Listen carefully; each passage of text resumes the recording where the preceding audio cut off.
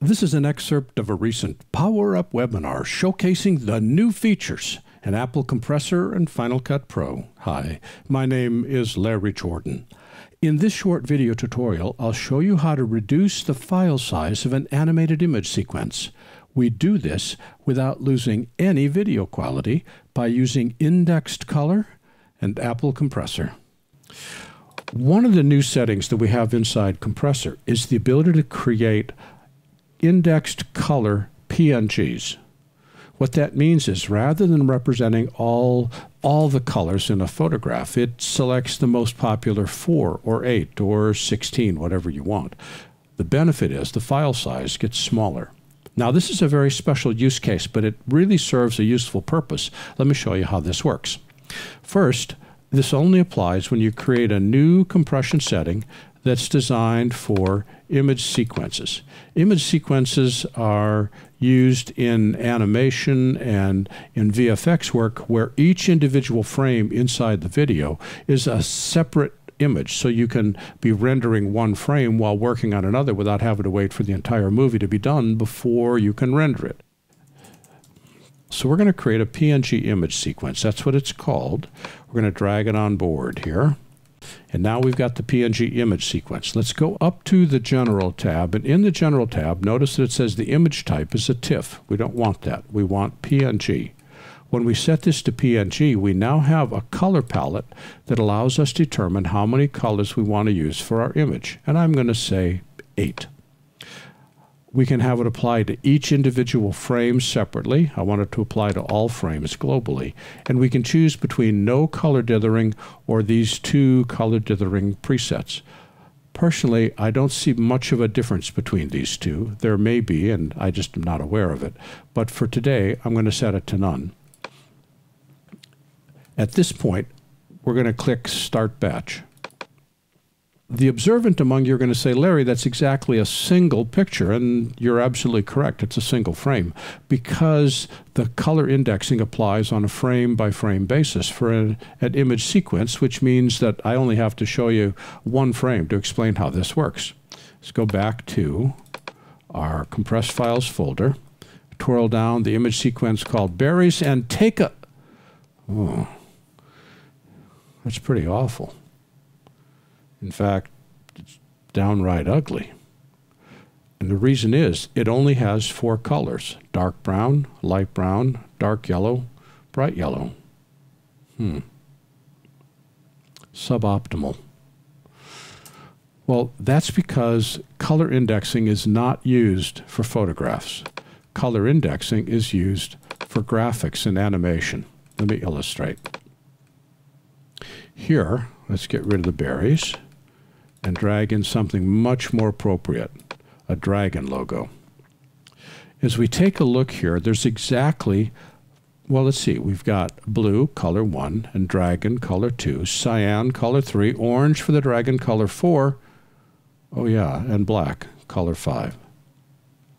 Because I have so few colors, I don't need to devote the entire PNG to representing colors that don't exist in this graphic, I can narrow the colors down, which reduces the file size. Let me show you.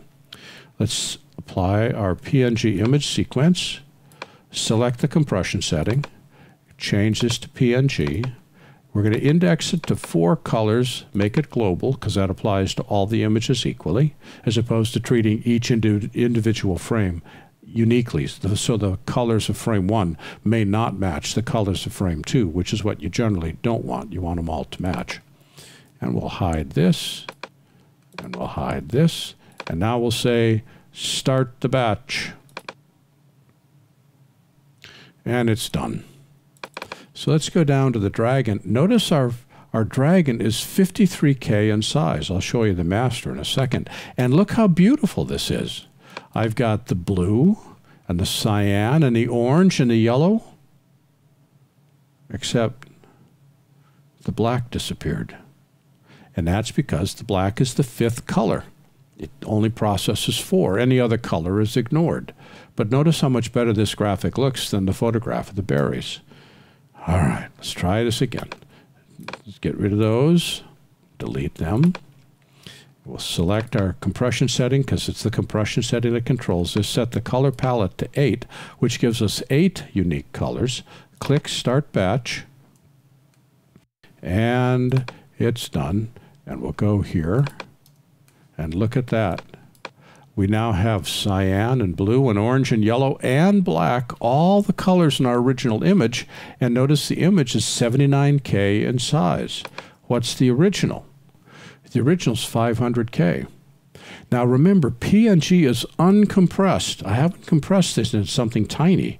It's still an uncompressed image just using indexed color. So I took the original, which is 500K per frame, indexed the color, and it's 79K per frame. I've reduced it by 85%. Yet still left it uncompressed, so I'm not getting any compression artifacting. It's going to look really nice, and when I go and compress it, it becomes vanishingly tiny. Think of the benefit this provides if you're providing videos to the web.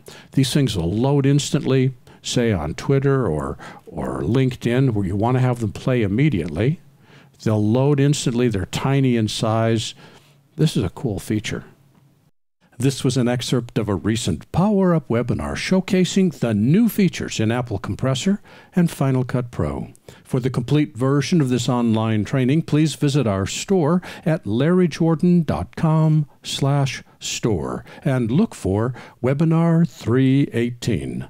By the way, when you need to stretch your training dollars, membership in our video training library saves you money and time. You can access all our videos for a low monthly price of only $19.99. That's almost 2,000 movies, hundreds of hours on a wide variety of subjects. Plus, premium members can download practice media and projects. Our training covers Apple and Adobe software. We update it multiple times each month. And for more information, visit larryjordan.com slash membership. And thanks.